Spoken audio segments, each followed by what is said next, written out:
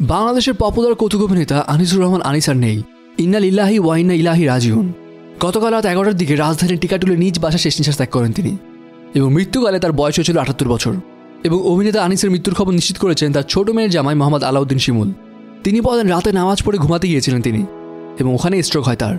টিকাটুলি জামে মসজিদে আজ সকাল নয়টায় আনিসের জানাজার নামাজ অনুষ্ঠিত হয় এবং এরপর তার মরদেহ নিয়ে যাওয়া হবে ফেনীতে তার গ্রামের বাসায় এবং সেখানে বাদ আসর তাকে সমাহিত করা হবে।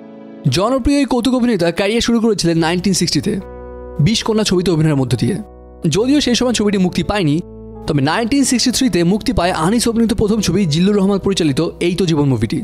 এবং তারপর থেকে তিনি অভিনয় করেই গেছেন।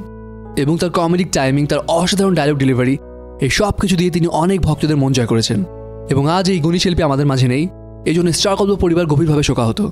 এবং তার আত্মার মাগফিরাত কামনা করছি। সাবস্ক্রাইব স্টার গল্প আর বেল আইকনে ক্লিক করতে ভুলবেন না।